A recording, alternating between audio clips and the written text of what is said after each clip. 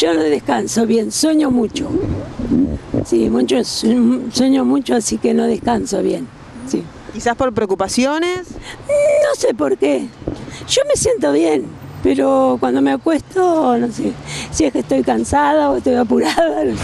No, es bastante embromado está. ¿eh? Pero, ¿Hay preocupaciones? ¿A eso se refiere? Sí, bastante. Usted ve las paradas, acá paradas, los micros acá, allá. Tenés que andar muchísimo. Y está todo mal, no está bien. No, no, yo no tengo problemas. Me desconecto totalmente y duermo tranquilamente las horas necesarias y todo bien. Por suerte no me desconecto. Algo natural, ¿eh? no es que hago algo ni nada.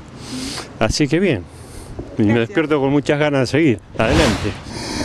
Bueno, siempre depende de cómo nos ha ido en el día. Si nos ha ido bien y somos felices, nos acostamos y descansamos enseguida. Y si tenemos preocupaciones, a veces las llevamos al lugar de descanso y, nos impide dormir bien. ¿no? sí, como todos los días.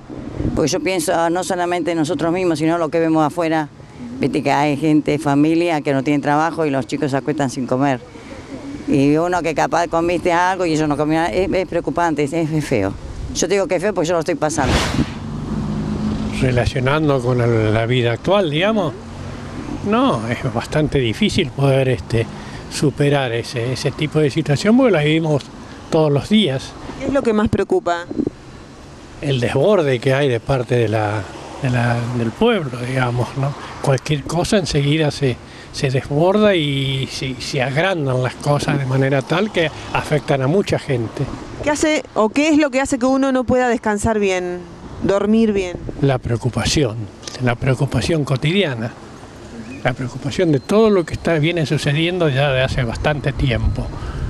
No, no diría años, pero sí meses, cada día más.